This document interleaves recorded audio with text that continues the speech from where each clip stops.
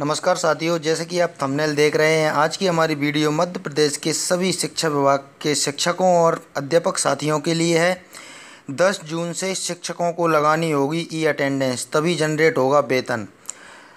सरकारी स्कूलों के शिक्षक अध्यापकों से लेकर शिक्षा विभाग के अधिकारी और कर्मचारियों को हर हाल में ई अटेंडेंस लगानी ही होगी।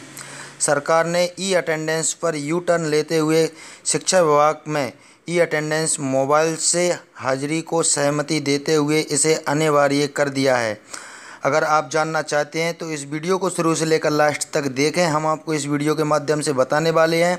और वीडियो पसंद आए तो वीडियो को लाइक करें, शेयर करें, अधिक से अधिक शेयर करें, जिससे स्कूल शिक्षा विभाग से जुड़े सभी कर्मचारी शिक्षक, अध्यापक सभी लोगों को भेजें जिससे उनको ये महत्वपूर्ण जानकारी मिल सके। तो चलिए दोस्तों, शुरू करते हैं। लेट्स गो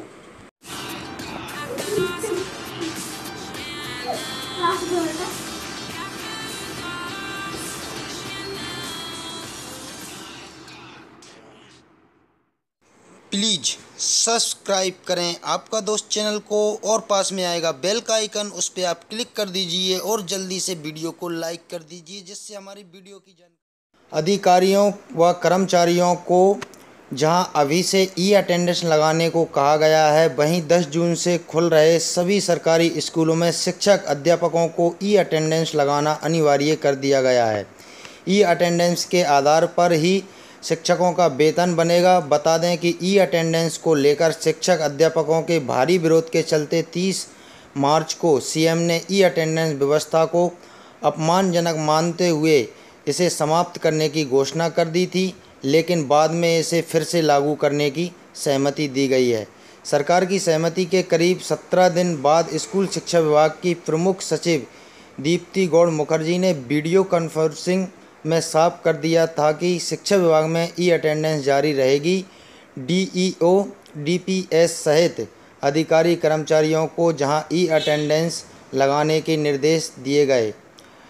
छुट्टियों के बाद 10 जून से खुल रहे सरकारी स्कूलों में शिक्षक और अध्यापकों को भी ई अटेंडेंस लगाने के लिए निर्देश दिए गए हैं। चार साल से चल रही रस्साकस्सी। शिक्षा विभाग में ई अटेंडेंस को लेकर पिछले चार साल से शिक्षा विभाग और शिक्षकों के बीच रस्साकस्सी चली रही, आ रही है। एम शिक्षा मित्र ऐप से ई अटेंडेंस की नई व्यवस्था सितंबर 2015 से लागू की गई है।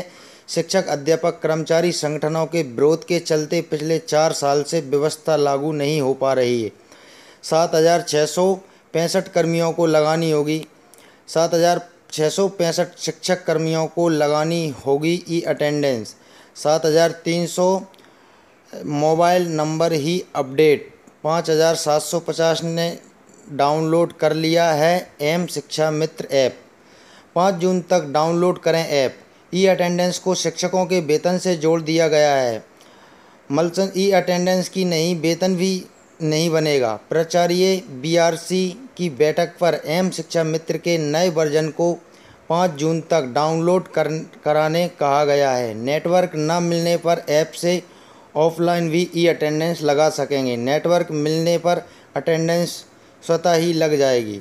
स्कूल शिक्षा विभाग की प्रमुख सचिव ने स्पष्ट कर दिया है कि बिना ई अटेंडेंस के वेतन जनरेट नहीं होगा। प्राचार्य बीआरसी की बैठक कर ई अटेंडेंस लगवाना सुनिश्चित किया जा रहा है। तो दोस्तों, वीडियो आपको कैसा लगा? अगर पसंद आया हो तो वीडियो को लाइक करें और शेयर करें। अधिक से अधिक शेयर करें, जिससे सभी स्कूल शिक्षा विभाग के कर्मचारियों को, शिक्षकों को, अध्यापकों को सभी लोगों को भेजें जिससे उनको ये महत्वपूर्ण जानकारी मिल सके। और आपका दोस्त चैनल से जुड़ने के लिए चैनल को सब्सक्राइब करें और पास में आएगा बेल का आइकन, उस पर आप क्लिक करें, जिससे हमारी अगली आने वाली वीडियो का नोटिफिकेशन आपको आसानी से मिल सके।